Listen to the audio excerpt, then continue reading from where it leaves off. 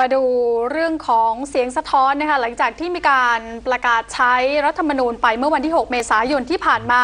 ตอนนี้ก็เริ่มมีบรรดานักการเมืองเนี่ยนะคะ บางกลุ่ม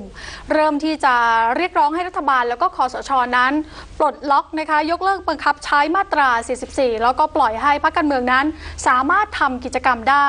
ขณะที่รัฐบาลตอนนี้ก็ยังไม่มีทีท่าว่าจะใจอ่อนนะคะ เพราะว่าเชื่อว่าทุกอย่างนั้นยังไม่สงบเรียบร้อยเพียงพอค่ะ ความเคลื่อนไหวจากนักการเมืองที่ต้องการให้รัฐบาลและคณะรักษาความสงบแห่ง ความสงบเรียบร้อยแห่งชาติหรือคอสช ยกเลิกคำสั่งตามมาตรา 44 และยอมให้พักการเมืองสามารถประชุมและทำกิจกรรมได้นั้น นายชูศักดิ์นายชูศักดิ์สรีนิน ประธานคณะทำงานด้านกฎหมายพักเพื่อไทยให้เหตุผลว่าเป็นเรื่องที่ไม่ถูกต้องที่จะใช้มาตรา 44 ต่อไป ด้วยเหตุผลว่าป้องกันไม่พักการเมืองสร้างความปั่นป่วน เพราะส่วนใหญ่เป็นการแสดงความเห็นในแต่ละเรื่องว่าเห็นด้วยหรือไม่ ดังนั้นจึงควรยกเลิกการใช้มาตรา 44 เพราะถ้าอ่านเนื้อหาแล้วก็จะเขียนชัดเจนนะคะว่าเพื่อความมั่นคง ความปลอดภัยของประเทศ ต้องการเรื่องคอขาดบาดตายที่ประเทศไปไม่ได้ถึงจำเป็นต้องใช้ ทางด้านของแกนนำพักชาติไทยพัฒนานะครับ คุณสมศักดิ์ปริศนานันทกุลบอกว่าถึงวันนี้ทุกคนคาดหวังว่าประเทศไทยจะเริ่มต้นเดินหน้านับหนึ่งประชาธิปไตย คาดหวังเห็นการดำเนินกิจกรรมทางการเมืองของพรรคการเมือง เพื่อไปสู่โหมดการเลือกตั้ง แต่ปรากฏว่าคอสชกลับประกาศออกมาว่าวันนี้ยังไม่สามารถที่จะให้พรรคการเมืองทำกิจกรรมทางการเมืองได้ เป็นการช็อกความรู้สึก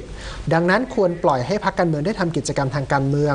การร้างลาทางการเมืองเกือบ 3 ปี แน่นอนว่าข้อมูลต่างๆ ต้องเปลี่ยนแปลงไป รวมทั้งการจะต้องมาพูดคุยกันถึงการเตรียมตัวตั้งรับรัฐธรรมนูญใหม่ การเตรียมตัวตั้งรับพระราชบัญญัติประกอบ และรัฐธรรมนูญที่เกี่ยวข้อง กับการเลือกตั้ง และคณะกรรมการการเลือกตั้ง เหล่านี้คือสิ่งที่พรรคการเมืองจะต้องเตรียมตัวตั้งแต่ตอนนี้ไม่ใช่รอให้ทุกอย่างประกาศใช้ก่อนแล้วค่อยไปเตรียมตัว อยากให้คอสชไว้วางใจ ว่าพรรคการเมืองไม่ได้มีเจตนาที่จะสร้างปัญหาหรือก่อให้เกิดเหตุการณ์ความไม่สงบ ทุกพรรคการเมืองต่างก็มีความรู้สึกรักห่วงแหนประเทศไม่แตกต่างไปจากทางคอสชครับขณะที่นายดอนประวัติวินัยรัฐมนตรีว่าการกระทรวงการต่างประเทศยืนยันนะคะว่าทุกอย่างกำลังเดินไปสู่รถแมพ การคงอำนาจไว้ตามมาตรา 44 ไม่มีใครติดใจสงสัยอะไร โดยเฉพาะต่างชาติเข้าใจดีว่า